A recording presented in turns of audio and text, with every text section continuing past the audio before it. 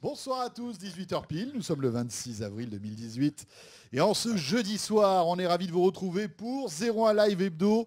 Toute l'actualité de la semaine de la tech, c'est maintenant et c'est en direct. Jérôme, La bonsoir. Semaine de la tech. Salut François, bonsoir à tous. Et ce soir, François, on retrousse les manches et on met les mains dans le cambouis. Ce soir, on s'intéresse à tous ceux qui bricolent leur PC eux-mêmes ou qui rêvent de le faire. Euh, on vous donne des conseils.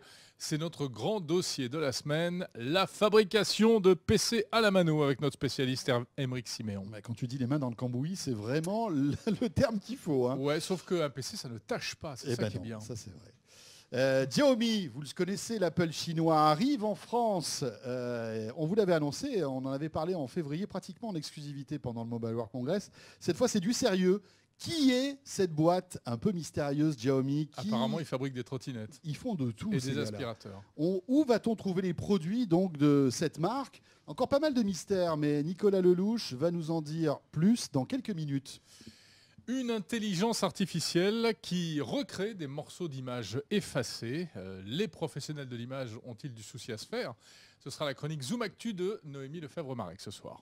Et puis on a testé les nouvelles lunettes, des nouvelles lunettes Snapchat qui Ah. sont arrivées. Ça y est. Euh, tu sais que les premières n'avaient pas forcément très très bien marché. Là, euh, Snapchat revient avec donc euh, les euh, comment ça s'appelle déjà? Les spectacles. Les Spectacles, voilà, Ouais. les Spectacles 2. Et il nous dira si c'est bien, si ça sert vraiment à quelque chose. hein, et ce qui change par rapport au précédent modèle. Eh oui. Et puis, c'est euh, la grande mode des, des perches stabilisées pour faire des vidéos, vous savez, les stabilisateurs, etc. Eh bien, David Noguera en a déniché une euh, qui vaut vraiment le détour. Il va venir nous la présenter tout à l'heure. Voilà, euh, menu bien sympathique hein, de ce. 01 Live Hebdo.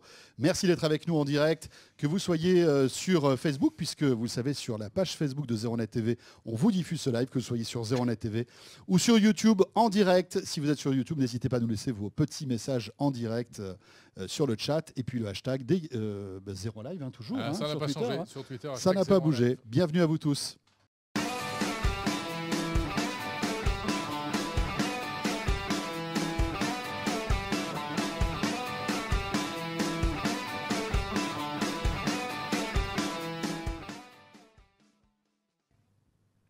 Jérôme, on va commencer par notre question 01net Orange de ce jeudi. Comme chaque jeudi, on vous pose une question sur l'actu et on fait le point euh, pour savoir un petit peu ce que vous pensez de ce sujet aujourd'hui. Donc, avez-vous déjà monté un PC vous-même? Ou bien est-ce que vous envisagez de le faire? Dites-le nous. Oui, non, mais j'y pense. Non, ça ne me dit rien du tout. Ou il y a une question, euh, une réponse un peu bizarre qui s'est glissée là. Non, mais je fais monter mon PC par Emeric Siméon. Ça, c'est la classe. J'aimerais bien. Ça, c'est un cas particulier. Attention, hein, il faut bien comprendre le sens de cette phrase, de cette question. hein. Avez-vous dé- déjà monté C'est pas sur un PC, parce que monter sur un PC, euh, ça sert à rien à part de le casser, peut-être. hein. Monter, c'est avec les tournevis. Bricolé, construit, fabriqué. le fabriquer. euh, Écoutez, elle me démangeait celle-là depuis tout à l'heure. Je voulais la faire, elle est, elle, elle est faite. Euh, et ça tombe bien parce que Emeric, Mister euh, Montage of PC, est avec nous. Salut Emeric. Salut Bonsoir. Emeric. Bonsoir à tous. Alors en préambule, les amis, Ah. je vous envoie sur 01net.com parce que depuis quelques jours, il y a la saga du PC à monter soi-même avec un pas à pas d'Emeric Siméon à la fois en écrit et en vidéo qui est exceptionnel. Oui, Voilà. Et c'est en image. et c'est en regardant ce tuto euh, qu'on a eu envie de t'inviter, Émeric, pour que tu nous expliques un peu, voilà, très brièvement, hein, euh, nous, nous faire un petit, un petit résumé de ce qu'il faut pour monter euh, son PC à la maison Bah oui, soi-même. c'est vrai, voilà, j'ai envie. Oui. euh, comment je fais Et puis euh, peut-être aussi pourquoi est-ce que quel est l'intérêt de fabriquer son PC soi-même?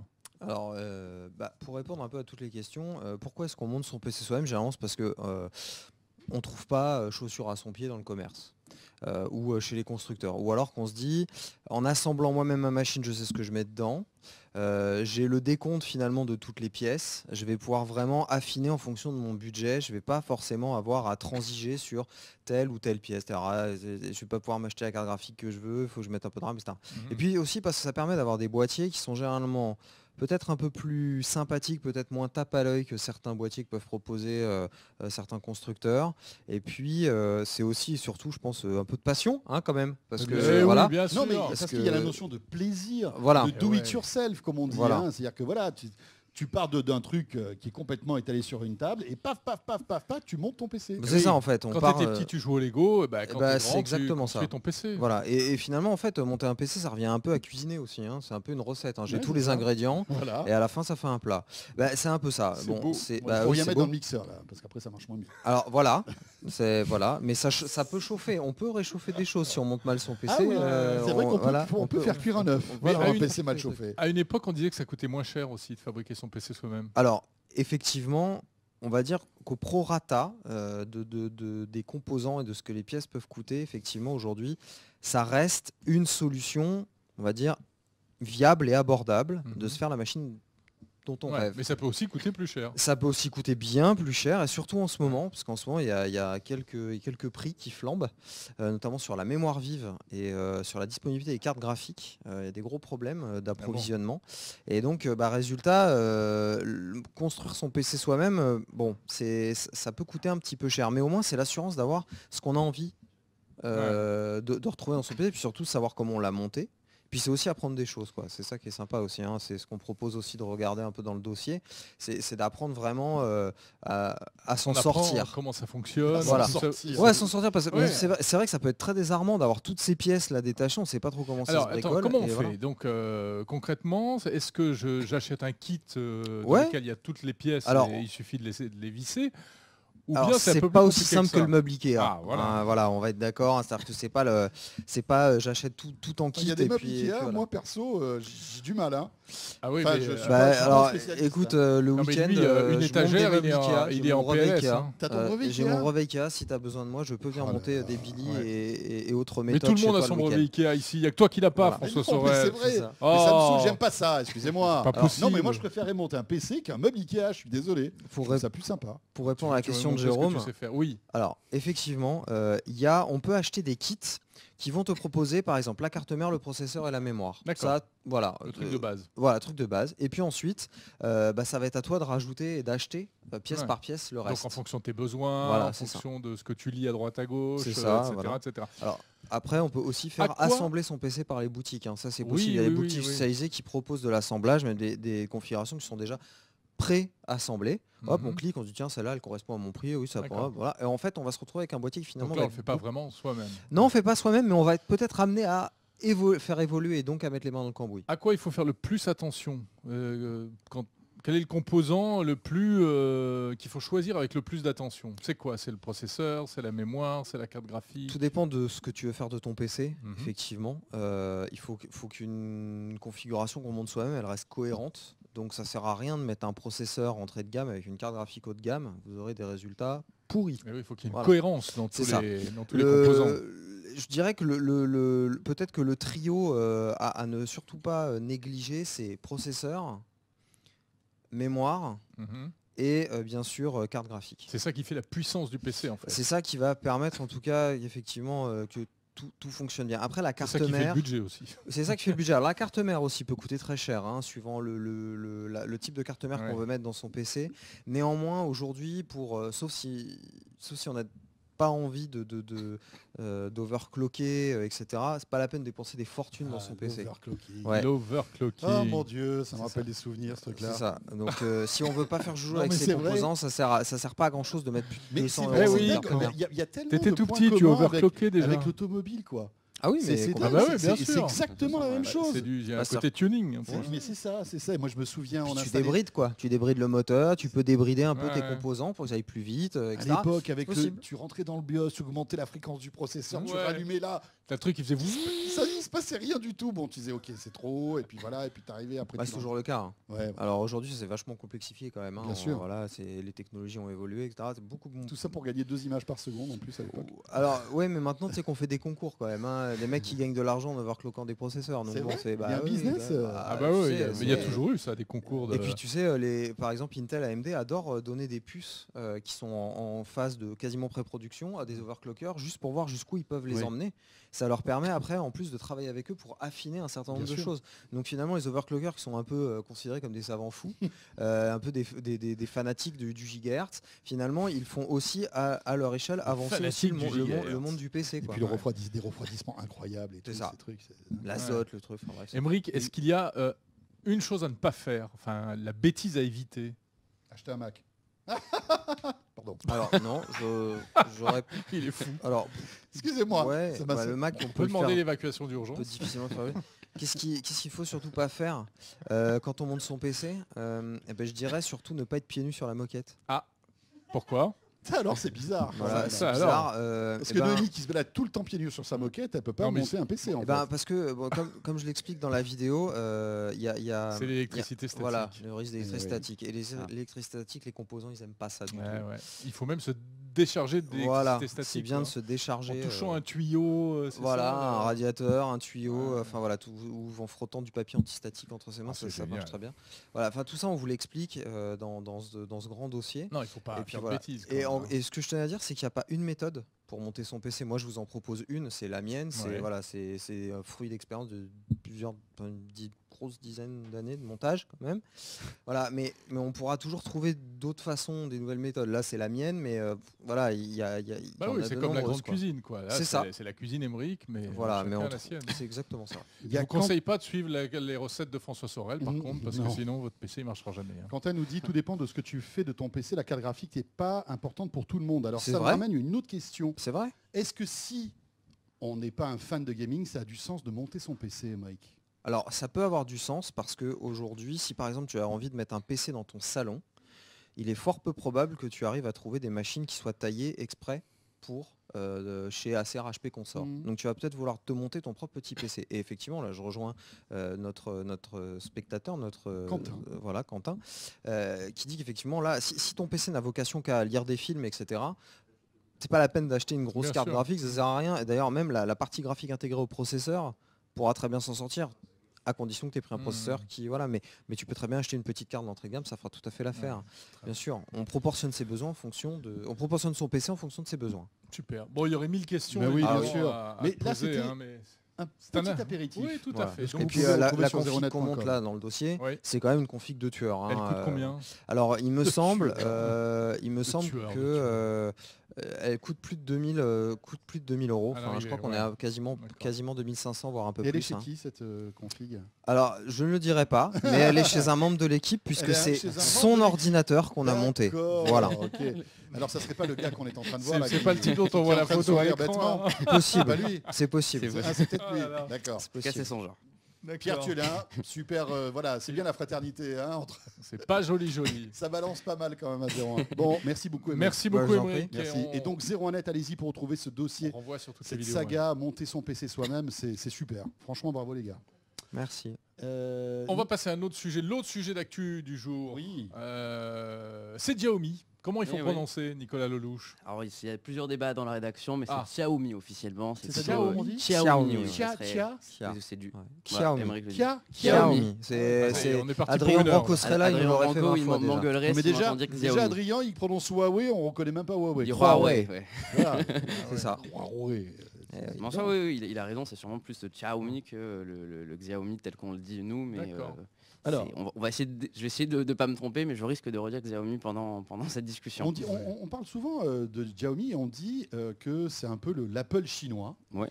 Euh, pourquoi en tout cas, eux-mêmes se revendiquent comme le Apple chinois, parce que quand on discute avec eux, ils se disent qu'ils sont une entreprise qui euh, appelle à la fidélité, qui veut faire des beaux produits, qui veut euh, arriver à donner envie, à créer une sorte de, de communauté entière euh, parmi Ouais. les fans. Et euh, d'ailleurs, si on regarde par exemple les visuels des derniers produits Xiaomi, c'est euh, à peu près la même chose que les visuels des derniers iPhones. Ils font exprès de s'inspirer et c'est clairement revendiqué. Ils veulent faire du Apple, mais trois fois moins, ch- pardon, mais trois fois moins cher et euh, parfois en ajoutant quelques fonctionnalités. Ouais. Mais du Apple, ça veut dire quoi? Ça veut dire un écosystème fermé? Ça veut dire Non, non, euh, il- Ça veut dire beaucoup de, de- de- de marketing, de. Alors il n'y a pas design, tellement, pas tellement de marketing. Ce qu'ils essayent de faire, c'est euh, vendre du rêve peut-être. Un petit peu ça euh, qui Ah, voilà. définirait le mieux Xiaomi, c'est qu'ils essayent vraiment d'être une entreprise qui, euh, qui arrive du coup à, à montrer aux gens que leurs produits sont beaux, leurs produits sont les meilleurs. Et il faut qu'une une personne qui a acheté un, un téléphone Xiaomi se dise mon prochain PC, ça sera du Xiaomi, mon prochain aspirateur, ça sera du Xiaomi, puisque Ouais, c'est un peu la magie avec eux. Oui, Ils font de tout. Ils font de tout. Apple Ils font de tout, c'est-à-dire Tout à fait. Pas, pas encore, peut-être un jour on aura un eye aspirateur, mais, mais en tout cas, ça, c'est Ça, pas le cas aujourd'hui. Sur scène, nous annoncer le high aspirateur. Alors Voilà. regardez, écou- écoutez ça. 小蜜 Ouais, hein. Ah oui, Xiao. Xiaomi. Tiens. C'est comme ça qu'il faut prononcer. C'est comme ça. Je vais essayer de le faire aussi bien que Google Translate, mais je ne promets rien. Alors bon, euh, c'est une marque qui intéresse beaucoup de monde, notamment les geeks, Oui, tout à fait. euh, qui était disponible par le par, par web, en l'importation, fait, oui, hein, c'est par, ça. par des importateurs euh, divers et variés, plus ou moins sérieux. Et là, la grosse news, et tu es là pour nous en parler ce soir, C'est que Xiaomi a annoncé l'arrivée officielle de la marque en France. Et c'est précisément il y a 5 minutes qu'ils l'ont annoncé, puisque c'est à 18h l'annonce officielle. Donc là, on est au cœur de l'actu. Top réaction. Mais bouillant. euh, oui, donc Xiaomi annonce son arrivée en France. Donc il y a une date qui est donnée, c'est le 22 mai. Donc le 22 mai, il y aura l'ouverture d'un store en ligne pour commander c'est- produits. c'est- voilà, très prochainement, oui, c'est le mois ouais. prochain. Et il y aura aussi l'ouverture d'une boutique physique. La seule chose, c'est qu'on ne sait pas où, on ne sait pas dans quelle ville, on ne sait pas, dans dans. quelle ville Alors il y a des rumeurs. Moi j'ai entendu disent- parler de la mode Beuvron, mais c'est pas confirmé. hein. Ouais. Peut-être, c'est vrai, il y a, y a plusieurs. Roquefort-les-Pins est également consenti, il y a, euh, des grandes villes. hein, Mais euh, disons en tout cas qu'il y a beaucoup de rumeurs pour Paris, en tout cas au Mobile World Congress. On avait Mais- entendu sur Zeronet qu'une boutique allait ouvrir à Paris, donc on imagine que ça risque. euh, ça risque d'être ça. C'est un, un communiqué de Xiaomi qui t'annonce son arrivée en France. Oui. Mais, Non, elle- c'est mais le- la boutique ouvrirait quand? Alors, on n'a pas de date officiellement, mais tout Non, a c'est pas vrai, tu euh, le sais, Nicolas. Allez, Ah non, non, j'en sais pas plus que ce que je ne dis, Ah, mais bah, c'est tu le, le- en tout cas le. Eux annoncent que Xiaomi arrive en France le 22 mai, donc en toute logique, Donc ça, ça- devrait être le 22 mai. Mais c'est quoi C'est le web ou c'est la boutique? Tout, non, c'est tout ensemble. hein. C'est le web et la boutique Ah qui ouais, arriveraient le même jour. C'est euh, donc là maintenant, ils sont officiellement sur le marché français. Donc j'imagine que la campagne marketing va commencer, que les internautes vont pas tarder à voir apparaître des bandeaux. euh, Bon, c'est des produits de bonne qualité. Bah, c'est des produits de très bonne qualité et Ah, surtout un bah, rapport qualité-prix euh, bah, difficilement battable. On a testé euh, des smartphones, des trottinettes, on a testé leur aspirateur Mm. MiRobot et globalement à chaque PC fois c'est leur PC portable, oui. qu'Adrien avait présenté ici il y, a, quelques semaines, mais à chaque fois on est sur du produit de très très haut niveau, dans le sens où il y a tous les composants les plus haut de gamme possibles, Mhm. que le design est beau, réussi, que l'appareil est très bien optimisé avec leur, leur surcouche euh, qui est, euh, qui est très très fonctionnelle. Et euh, tout ça, le- on, a, on a des smartphones aujourd'hui équipés euh, de, de- de processeurs Snapdragon 835 qui euh, bah, sont dans les, dans les 500 euros. Ouais. Et euh, donc on va voir, on n'a on a aucune information sur les prix en France, tout ce qu'on sait c'est qu'ils vont être compétitifs parce Ouais. que euh, Xiaomi promet une chose, on ne fera jamais plus de 5% de marge sur un produit. Donc, Ah une, ouais. une marque qui promet Ah ça, c'est- du jamais vu, C'est hein, pas généralement. Euh, Ça, c'est pas, c'est pas Apple. carrément, c'est pas Mais Apple. euh, la mission de Xiaomi, c'est proposer les produits d'une meilleure qualité possible à un prix qui défie la concurrence. Donc on imagine que Bon, ça va être bon, le cas en. France. Bon, en tout cas, là, euh, il y a, la- il y a une, une mission à la Colombo, c'est de savoir où va ouvrir cette satanée boutique euh, Xiaomi. Euh, écoutez, si vous êtes parisien, si vous voyez dans votre rue une boutique qui est en train de se construire, Bah, écrivez-nous. Ouais. enfin, regardez bien que ce soit quand même un truc de high-tech, hein, parce que si c'est un kebab, ça nous intéresse un peu moins, mais en revanche, euh, de Xiaomi, ça peut, ça peut être sympa. Et l'autre question aussi, ça va être quel produit Xiaomi va sortir en France? Parce qu'ils font énormément de choses en Ouais, Chine. Ils font des bracelets, ils font des brosses à dents, ils font. euh, enfin, Xiaomi, c'est vraiment, il y a des lampes de bureau, des, euh, des Ah, tu veux dire veilleuses. par là qu'on n'aura peut-être pas tous les produits Xiaomi On risque de, se- en tout cas, ils sont, ça- on serait le troisième pays européen après la Pologne et après euh, l'Espagne. Et euh, par exemple, le lancement espagnol qui semble similaire au, au nôtre, Mais- il y avait eu très peu de produits au lancement. Mais Jérôme, tu vas pouvoir nous aider Oui. T'es allé voir la boutique Xiaomi à Barcelone Qu'est-ce qu'il y avait justement Qu'est-ce qu'il y avait dedans Euh, où je suis, non, non, j'ai vu de loin. Ah, t'es pas rentré je te signale que non, j'avais un avion à prendre et j'ai pas très Oui, c'est vrai, Si- je- dans le si je même me d'ailleurs. trompe pas, ouais. Si je me trompe pas, ça sera à vérifier, mais ils avaient des téléphones, des bracelets connectés et euh, une lampe de bureau au lancement. Mais il n'y avait pas d'ordinateur, pas d'aspirateur. Alors, euh, il me semble qu'à la boutique espagnole, il y a des ordinateurs. maintenant, peut-être. Ouais. Maintenant, mais euh, il y a quand même peu de En tout cas, c'était un euh, copier-coller des Apple Store. hein. Oui, oui, Oui, il vaut le coup ce, ce- ce petit ordi euh, Xiaomi ou pas? Bah, matin, on avait parlé dans De quoi je me mail. Exactement. Et ça fait partie des PC ouais, qui effectivement qui sont assez bah, Intéressant. comme le disait Nicolas hein, qui offre un, un rapport qui a été pris assez intéressant et je voulais juste ajouter un truc c'est Oui. que Xiaomi euh, intéresse aussi les très très grands puisqu'en fait Facebook on le sait c'est associé à Xiaomi pour fabriquer euh, un, un casque de un casque VR hein, puisque c'est Xiaomi qui l'avait annoncé en, en CES C'était Euh, l'époque voilà. on parlait encore de VR il y a quelques, quelques mois. oui c'est ça voilà Oui. Euh, voilà et on sait on sait que c'est mode. un casque Alors, la mode. on sait, on sait que c'est un casque en gestation on sait pas trop quand est-ce qu'il va sortir mais normalement enfin c'est Xiaomi qui fabrique l'Oculus Go de Facebook C'est ça. Merci. Bon. Merci Émeric. Et merci à Nicolas. Merci Bah, à tous les merci. deux. Tu bouges pas trop Je loin, bouge tu pas trop. boire un coup si tu veux. On Tu se revoit dans, quelques minutes. Tout à fait. Oui. Avec tes lunettes Snapchat. Exactement. On parle d'intelligence ici. À tout de artificielle. suite. Intelligence artificielle tout de suite appliquée à la photo. C'est Noémie.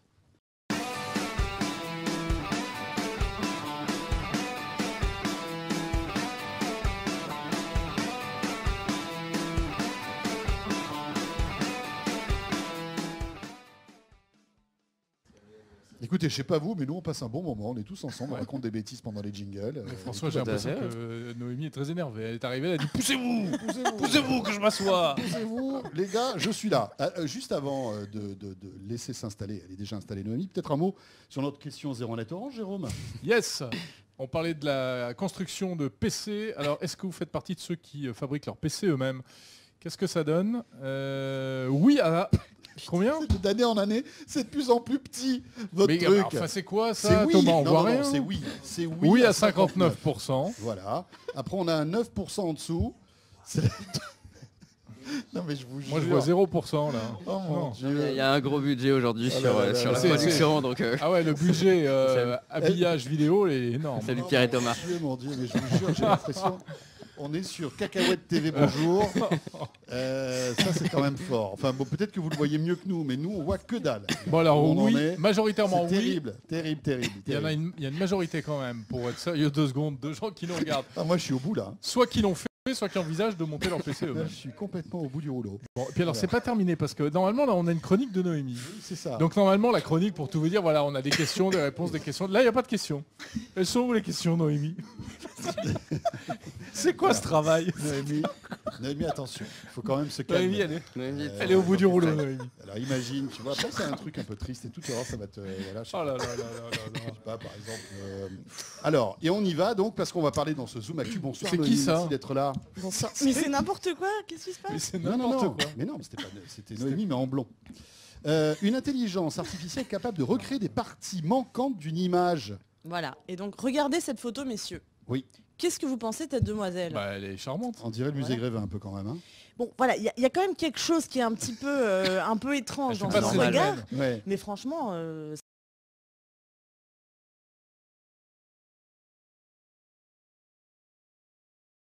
c'est une jeune fille, elle a vraiment deux yeux, un nez, une bouche. ouais. Et ben figurez-vous Ça que c'est c'est... vrai, c'est déjà, rassurant.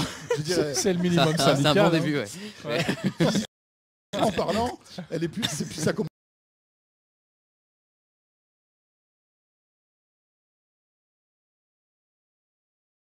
commence bien, on va dire. Voilà, donc ça a l'air d'une personne, euh, une Oui, personne humaine normal. tout à fait normal. Et bien figurez-vous que c'est une photo retouchée et que voilà, Pierre, euh, le réalisateur, est en train de vous montrer euh, ce qui s'est passé, c'est qu'en fait, euh, eh bien, cette photo a été reconstituée sur la base de la photo qu'on voit ici à gauche. Donc il y a quelqu'un qui a fait des trous dans la photo et Mhm. une intelligence artificielle développée par Nvidia a été capable de reconstituer euh, le visage de, de cette jeune fille et donc on, pour retrouver voilà le, le premier visage que vous avez vu. Ce qui est fou, c'est qu'aucun être humain n'est intervenu pour faire cette retouche de photo. C'est vraiment une intelligence artificielle qui l'a fait. Mais à Et- partir de quoi? Et bien en fait c'est du deep learning. Cette euh, nouvelle intelligence artificielle Nvidia, Énorme. c'est énorme. Non mais c'est vraiment énorme.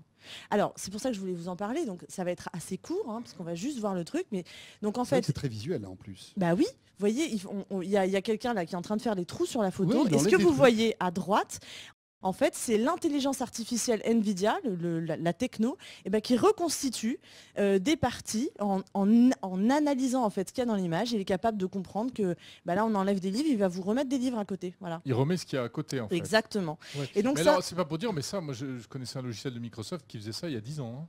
Ah bon? Ah bah oui. Oui, mais alors attends. Ah, Je bah demande à là- voir. Alors, Là, quelle t'es un, peu, t'es un différence peu taquin, c'est Je suis vrai. un peu taquin. Et c'est vrai qu'en fait, il y a on- des on- logiciels de retouche qui sont capables en effet Oui. de reconnaître les pixels qui sont tout autour de trous et de, et de remettre, en fait, de Mais un peu ces à chaque fois que pixels. Microsoft Ouais. nous montre un truc, par exemple, il y avait deux personnes sur une plage avec la mer au fond. Ouais. T'enlèves une personne, enfin tu, tu, tu effaces une personne. Il te met la mer à la il te place. met la mer et le sable à la place. Et on Mais- peut faire ça sur iPad aussi aujourd'hui. Mais, mais là, je trouve que c'est quand même. Ce ce qu'il y a d'impressionnant là, c'est que le. le- je- je- et je pense que c'est ça la nouveauté, c'est que euh, l'intelligence artificielle arrive à détecter un visage et à recréer des yeux et Oui, un nez, alors voilà. alors que ça- alors qu'il n'existe pas. Exactement. Mais à partir de quoi il crée des yeux de, Et ben en fait c'est du deep learning, c'est-à-dire que Nvidia a entraîné l'intelligence artificielle sur, une base de, sur des bases de données énormes Mhm. pour que cette intelligence artificielle soit capable de reconnaître que c'est un visage, que c'est un paysage de plage, que voilà. Donc là par exemple on le voit sur ce monsieur, il va comprendre, l'intelligence artificielle va comprendre qu'il s'agit bien d'un visage et au moment des, au- à l'endroit des trous, il va le recréer en fait un sourcil, il va le recréer des Il rides, lui fait un etc. lifting là en fait. Oui exactement. Je me tiens plus droite, je me fais, je me fais gronder Oui, toutes les qu'autrement, il y a semaines. l'intelligence Nvidia qui va te. Tu vas voir. Exactement. Et en fait, euh, donc voilà, Pour c'est te gommer. Zoup, zoup, zoup, zoup. Non, ne faites pas ça, s'il vous plaît. Euh, donc en fait, voilà, c'est vraiment la, définition du deep learning, c'est l'entraînement d'une intelligence artificielle pendant un certain, un certain temps Mm. pour qu'elle euh, soit capable de recréer euh, ce genre de... Mais les usages peuvent être exceptionnels en fait. Mais oui, et c'est ce qui conduit en fait Adrien Branco qui en parle sur euh, zeronet.com, c'est ce qui ce le conduit à imaginer que eh ben, le métier de retoucheur photo bah, pourrait peut-être Hmm, disparaître parce mal que là, c'est les débuts de cette intelligence artificielle, mais dans quelques semaines, dans quelques mois, elle va être encore plus performante. Et donc la jeune fille qui a l'air un tout petit peu bizarre au début, bah, peut-être qu'elle va être vraiment euh, très très crédible Et avec plus- des résultats de retouche très performants. Voilà, et puis là c'est une sacrée retouche. Vous l'avez, enfin, on lui a enlevé les yeux et le nez. Euh, Exactement. mais en général, les retouches photos, c'est pas aussi puissant. C'est on enlève une ride, euh, on enlève Mm. peut-être euh, s'il y a des, euh, enfin des trucs qui vont pas sur des impuretés sur la peau. Ouais, ce qui est fou, c'est qu'il est capable de comprendre dans un trou, il est, il est capable de comprendre ce qu'il y avait avant et de recréer des yeux. ouais, Alors que là, sur la base de savoir si elle rien. avait les yeux bleus ou les yeux ou les yeux Bah non, il fait des projections. Il fait des projections. Ouais. Ouais, peut-être en analysant la peau, ou peut-être en, ana- en analysant les cheveux, etc. Exactement. Parce qu'en fait, il doit analyser, je pense, toute la photo Ouais. euh, Ah du- Il lui fait un petit test génétique pour savoir à quelle Ah, couleur de ses ça, bien sûr aussi. Si, pourquoi pas. Donc on ajoute sur la liste des métiers qui vont disparaître à cause de l'intelligence artificielle. donc, Exactement. hein, graphiste, euh, retoucheur d'image, Voilà. allez. hein. Exactement. Désolé. hein. Bah, Voilà, messieurs, c'est ce que je voulais vous montrer aujourd'hui. Non, c'est cool, c'est impressionnant. C'est intéressant. Est-ce que tu bien. crois que demain, il y aura la retouche de journaliste et on pourra ne plus avoir de Moi, je suis et- persuadée qu'on va disparaître On va tous aussi. Un jour, ce sera un robot à ma Ça place, à, votre place, mais bien sûr. C'est dingue ça. Ah. Ça va Ouais. être triste hein, quand même un peu. Bon, Mais comme on n'en est pas là, il faut continuer pour l'instant. Merci Noémie. Merci à vous. Et dans un instant, on poursuit avec le Zoom Actu en chair et en os. Le, le labo, mais c'est c'était ça.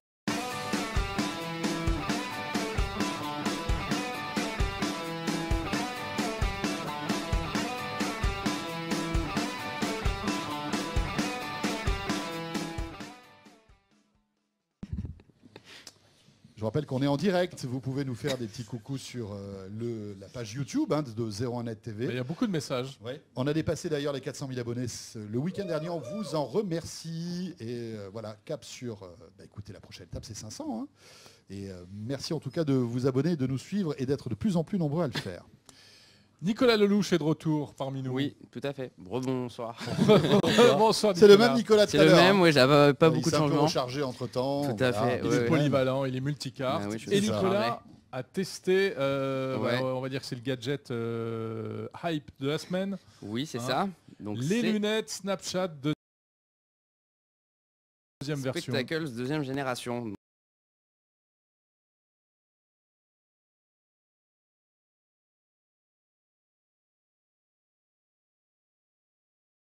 Donc euh, elles changent pas de nom, c'est toujours Spectacles, hein, donc il n'y a pas euh, de grosses nouveautés. Nicolas, juste un truc. Oui. On, on s'en fout de ce que tu nous racontes. On veut que tu les mettes. Voilà. Parce que c'est ça Bien qui est le plus important. Regarde, regarde, Tu sais très bien.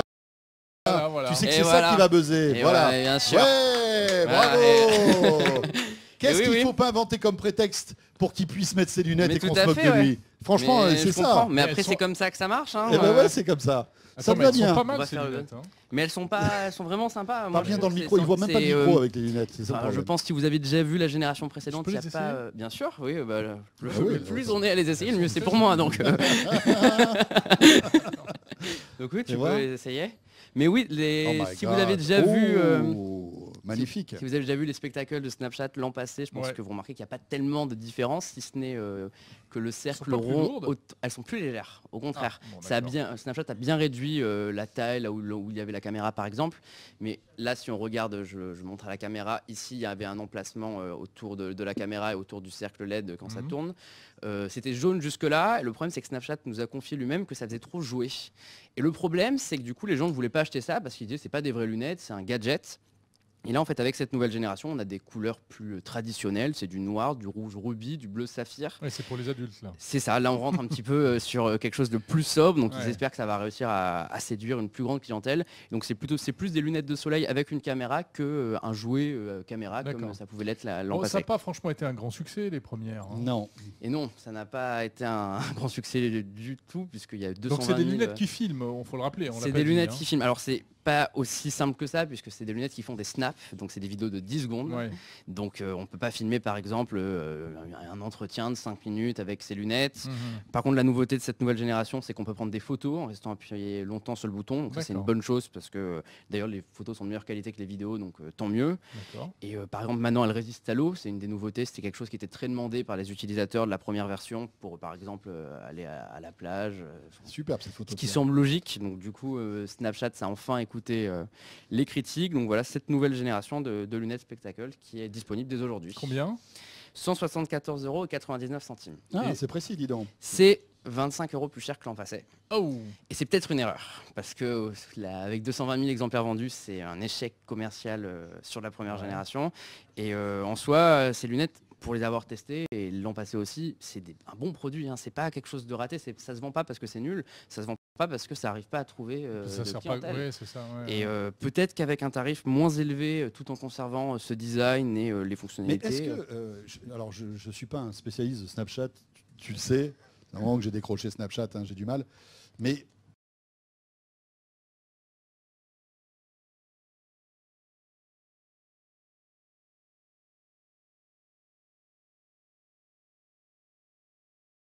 pour Ouais, regarder, c'est- être vraiment pour les, pour les très jeunes. non mais pour être un observateur.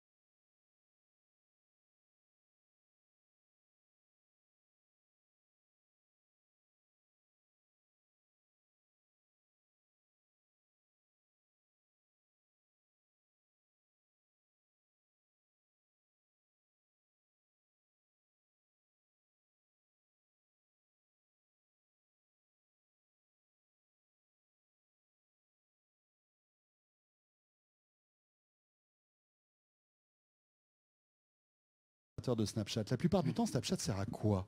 À se filmer. Pas- On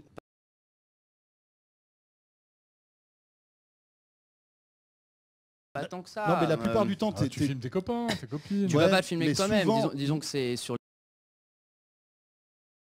les- avec les stories, tu vas montrer où tu es, tu Ouais, vas partager ouais, le je moment suis avec tes d'accord, je suis amis. d'accord, mais souvent aussi c'est pour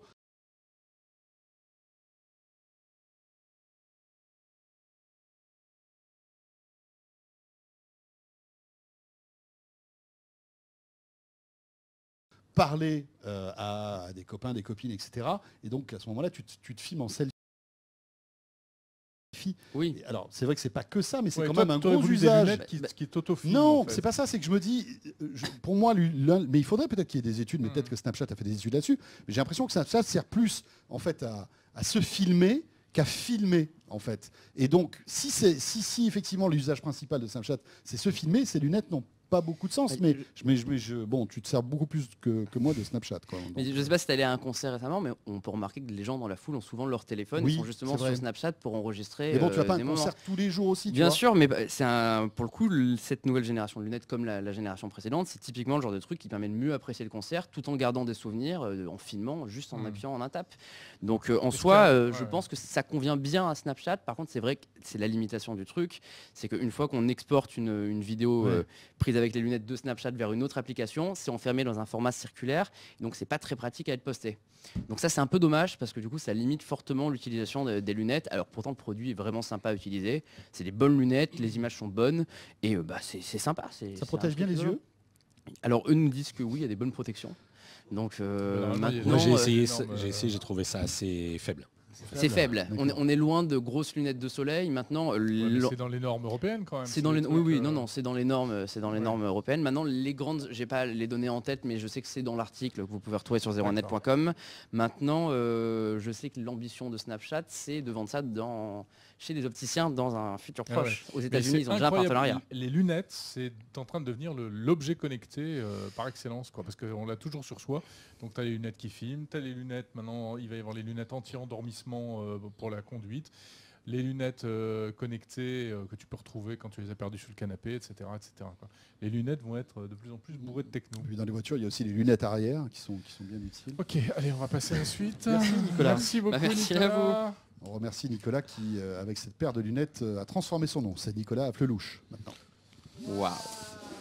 Oh là là là là là C'est là je vais l'envoyer à mes parents. Elle peut, elle peut leur faire plaisir. On va, on va encore Euh. avoir des, des- des insultes. hein, pour- non Pourquoi c'est non je pense pas. Allez, on va terminer en beauté avec en restant sur la- l'image et la oui. vidéo et, euh, avec un accessoire pour filmer avec C'est son ça, smartphone. un stabilisateur, il est là. Il est Bonsoir à tous. hein. beau C'est euh, alors, c'est aussi fait par du chinois, on parlait de Xiaomi. euh, moi j'ai du produit Feiyu, Feiyu Tech en l'occurrence. Alors que, je ne fasse pas tout tomber.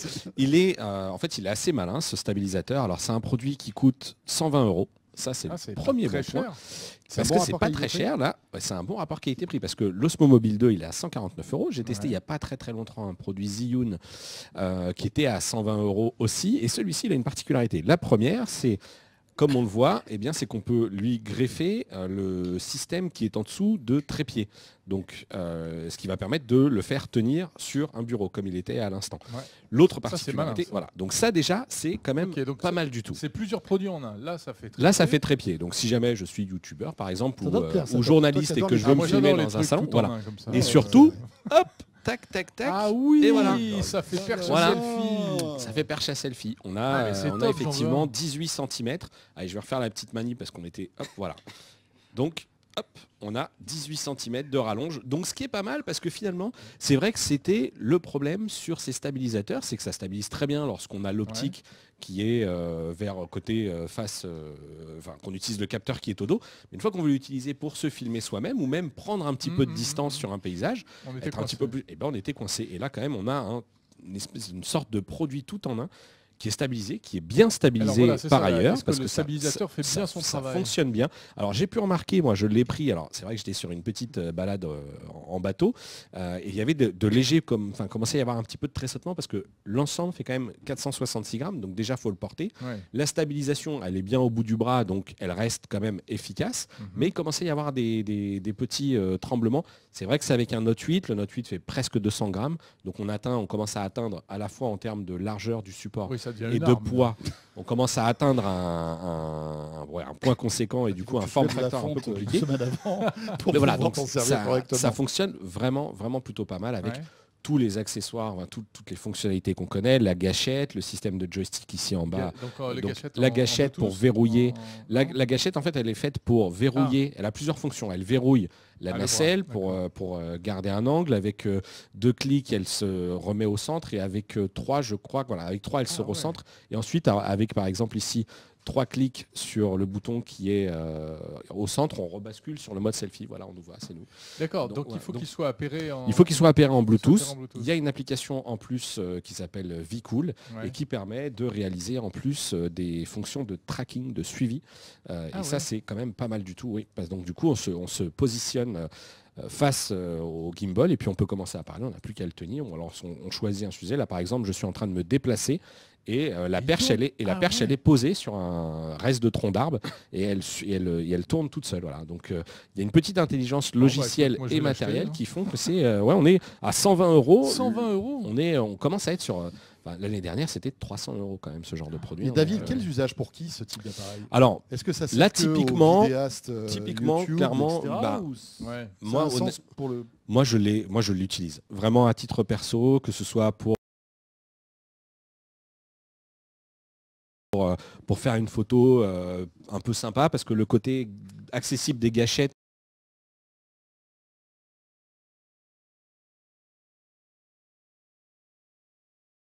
euh, apporte pour tes une forme beauté surtout sur. euh, Exactement, Ah, ouais, sur ma chaîne beauté, c'est ça, tout à fait.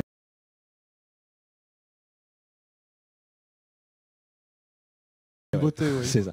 Non, mais c'est vrai qu'on on- on arrive vite finalement à utiliser ce côté perche permet de passer par-dessus.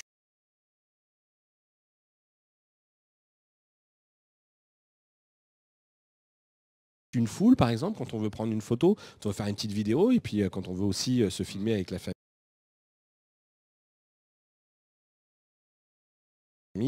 Avoir ces fonctions de stabilisation, ça apporte tellement de choses la stable que ça permet vraiment de- de- d'apprécier la qualité sans cesse croissante des, ça a des la capteurs de nature des smartphone. vidéos sur YouTube. Exactement. On, voit plein de vidéos qui sont comme Oui. ça, fluides. Oui, très etc., fluide, bien sûr. très- Très- Et, euh, ça, et ça rend très très bien. Là, je vais, je vais l'éteindre pour pouvoir le basculer euh, sur un autre. euh, on parlait de- des réseaux sociaux et évidemment le Oui, tu, peux, berceau tu peux le mettre aussi peut en- tourner pour qu'on puisse l'utiliser cette fois-ci du coup à la euh, verticale. en mode euh, en mode portrait. Par contre, il n'y a rien pour le fixer en voiture, par Il exemple. n'y a rien pour le fixer.